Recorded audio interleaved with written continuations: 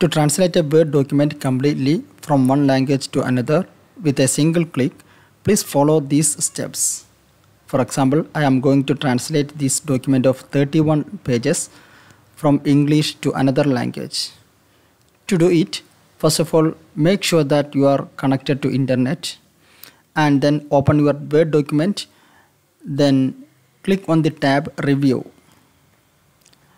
Now from these options, click on Translate which can be found in the section of Language.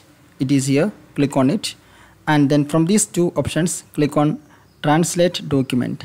Then a small window will appear on the left hand side.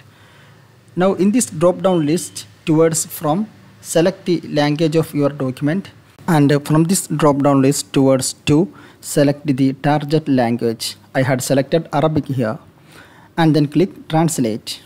Okay now the document is being translated.